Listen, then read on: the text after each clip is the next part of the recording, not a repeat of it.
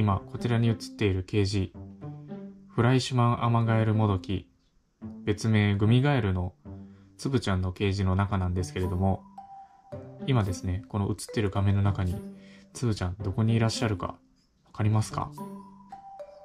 結構ね、議題できてると思うんですけれども、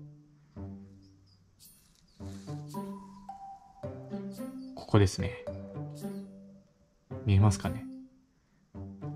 にいらっしゃるんですけども、こうやってね、普段は葉っぱのポトスに擬態して寝てますね、今は。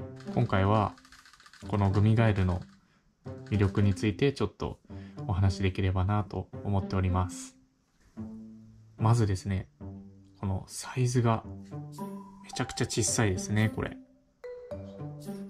人差し指の第一関節ぐらいしかないです。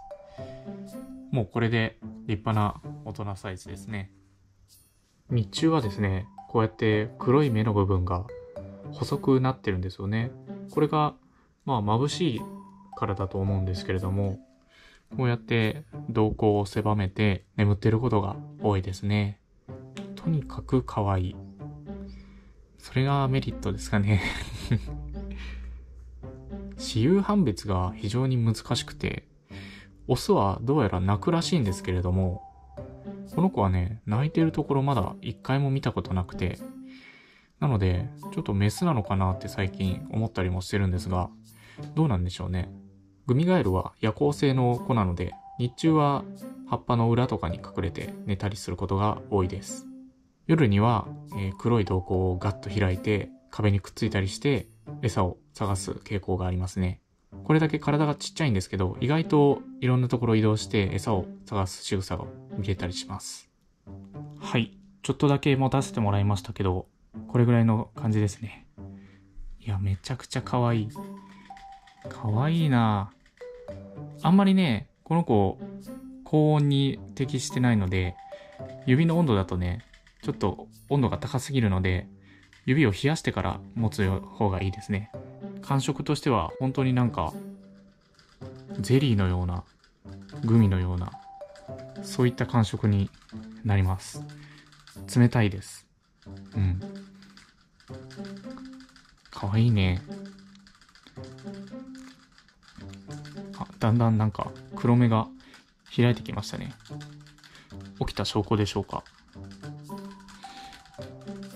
でしきりに裏に隠れようとするようなそういった感じがあります。